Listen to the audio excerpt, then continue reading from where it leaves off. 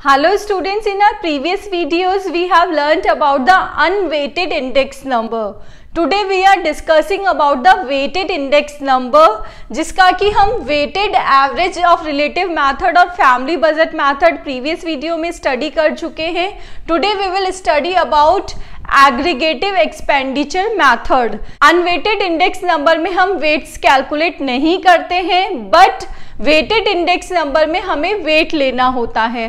Weight that in the sense of quantity that means आप in methods में quantity को भी प्राइस के साथ प्रेफरेंस देते हैं। That is aggregative expenditure method P zero one equals to sigma P one Q zero divided by sigma P zero Q zero multiply by hundred P one is price of current year p0 is price of base year q0 is quantity of base year.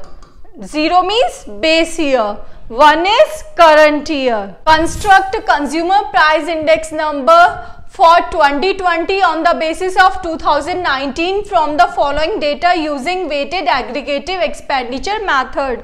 Articles are given, quantities of 2019 are given, units, prices of 2019 in prices of 2020 are given. This is the P0 that is base year prices or this is current year prices that is P1.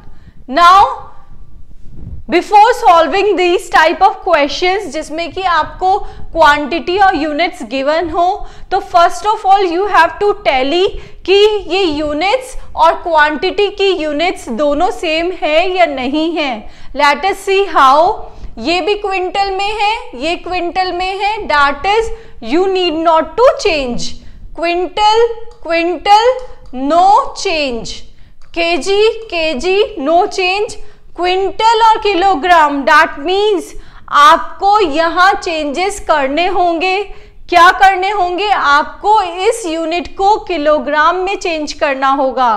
One quintal equals to hundred के होता है।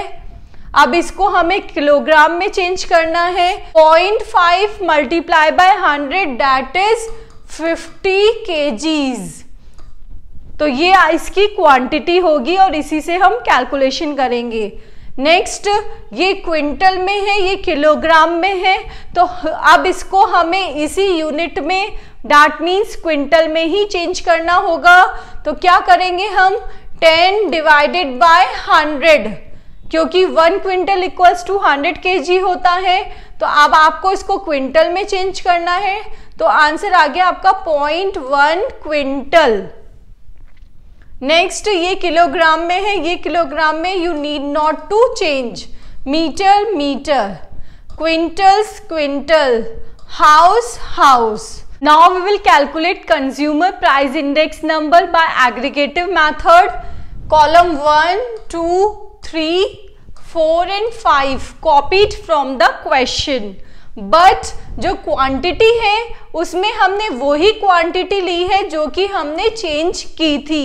That is 50 kilogram और 0.1 quintal जो quantity है हमारी base year की, उसको हम नेमिंग देते हैं Q0 ज़ीरो बेस ईयर का जो प्राइस है, उसको हम क्या लिखेंगे? P0 ज़ीरो और करंट ईयर का जो प्राइस है, उसको हम लिखेंगे P1 one now we will calculate P0 Q0 two multiply by hundred that is two hundred one multiply by one sixty that is one sixty twenty multiply by one point two zero that is twenty four fifty multiply by two that is hundred point one multiply by forty that is four ten multiply by four that is forty 20 multiply by 3 that is 60 4 multiply by 16 that is 64 1 multiplied by 20 that is 20. Now we will calculate P1 Q0 price of current year multiply by quantity of base year. 2 multiplied by 200 that is 400. 1 multiplied by 220 equals to 220. 20 multiplied by 2.80 that is 56. 50 multiplied by 3 that is 150. 0.1 multiplied by 60 that is 6. 10 multiplied by 8 that is 80. 20 multiplied by 5 that is 100. 4 multiplied by 20 that is 80. 1 multiplied by 30 that is 30. Now we will sum all the values. Sigma P0 Q0 equals to 672. Sigma P1 Q0 equals to 1122. We will substitute all the values in the formula that is 1122 divided by 672 multiply by 100 that is 1.6696 multiply by 100 our index number is 166.96